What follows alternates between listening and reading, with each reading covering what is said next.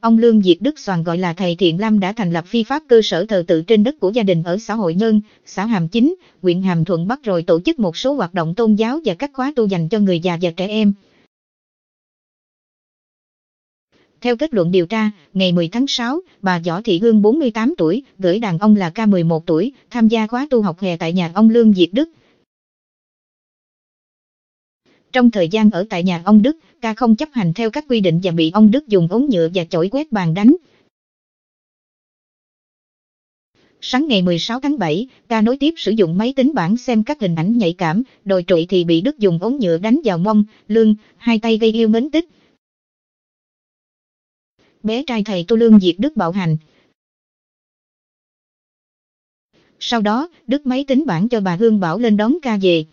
Khoảng 13 giờ 30 cùng ngày, bà Hương đến đón ca nhìn thấy mông, lưng, hai tay con có nhiều vết bầm tím nên đến công an xã Hàm Chính trình báo. Tại cơ quan điều tra, ông Đức khai nhận toàn thể sự việc.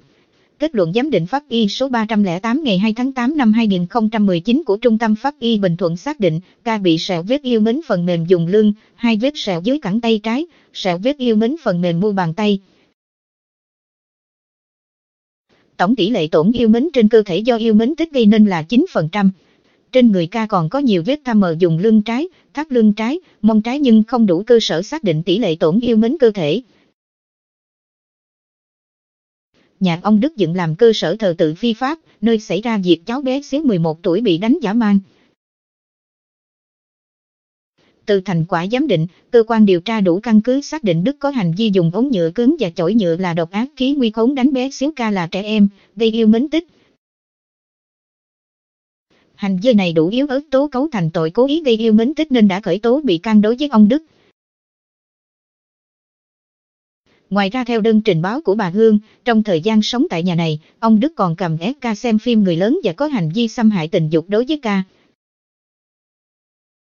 Kết luận điều tra cũng nêu rõ, việc bé xíu ca cai bị Đức xâm hại tình dục do không đủ tài liệu chứng cứ chứng minh nên không đủ cơ sở truy cứu giết nghĩa vụ hình sự đối với Đức về tội dâm ô người dưới 16 tuổi.